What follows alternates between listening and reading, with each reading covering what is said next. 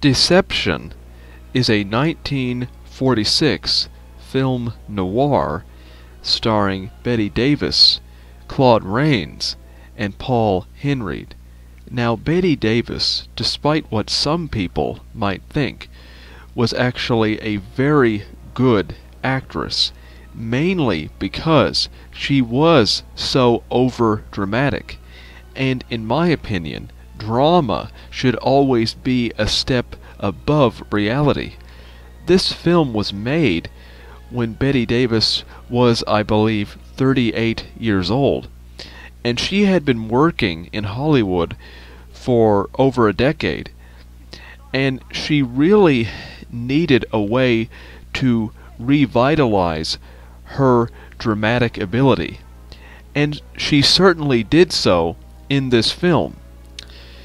She plays a woman who is basically a pathological liar, someone who is willing to do anything in order to prevent the truth from being discovered.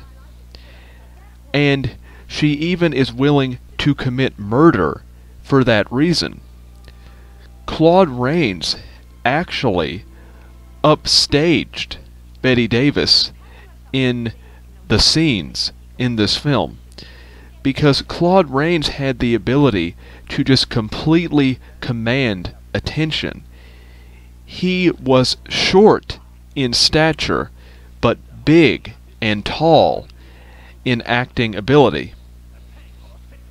And he truly plays here a very cynical, pompous, corrupt composer who just completely controls all of the characters in this film, right up until the very end.